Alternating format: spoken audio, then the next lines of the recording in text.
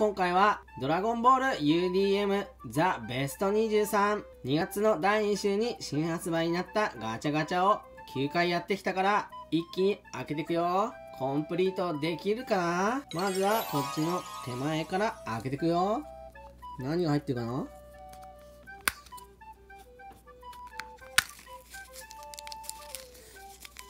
その前にまずはラインナップを紹介していくよ。ドラゴンボールの UDM ザ・ベスト23全部で5種類。1個目はスーパーサイヤ人ゴッドの孫悟空。で2つ目はジレン。3つ目はスーパーサイヤ人ベジータゼノ。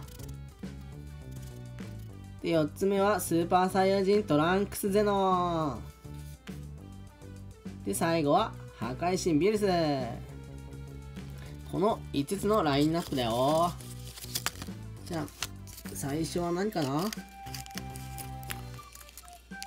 あビルスだねこれ。よし。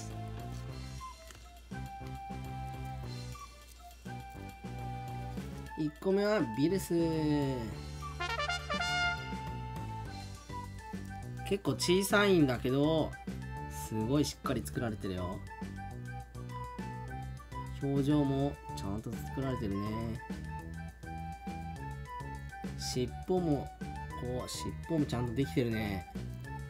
めちゃめちゃクオリティが高い。ビルス。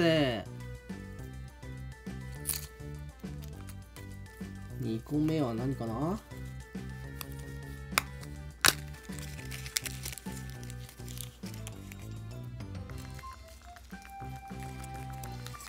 2個目はスーパーサイヤ人3ベジータゼノだね。ゼノめっちゃでかいな。レアとかないの？かよいしょ。おかっこいい。目が緑色。この髪の毛の感じがめちゃめちゃいいね。かっこいい。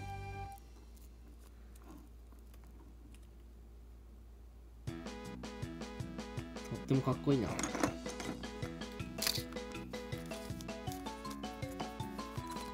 つ目はないかな？あ今開けたスーパーサイヤ人3のベジータゼノスだね。3つ目は一緒。かぶったね。4つ目。4つ目は？おジレンだ。ジレンが出たよ。色鮮やかだね。4つ目はジレンが出たよ。ボディがめっちゃかっこいい。強そうだね。クオリティ高いなこのガチャ。ちっちゃいけど。5個目。何かな？お！スーパーサイヤ人ゴッドの孫悟空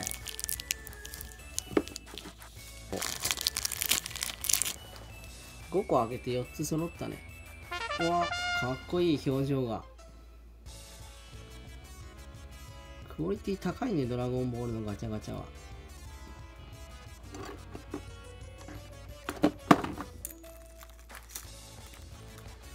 6個目。何かな？あコンプリートしたね。6個目。トランクス出たね。6個目はスーパーサイヤ人トランクスでの髪が上がってかっこいいね。刀の感じもかっこいいし。すごい。服が。細部まできっちり作られてる。かっこいいこのちっちゃいのに。よしコンプリートした。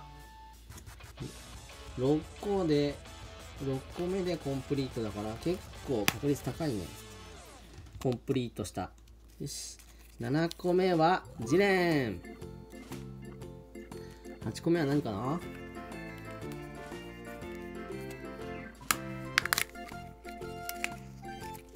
8個目はスーパーサイヤ人3のベジータゼノ。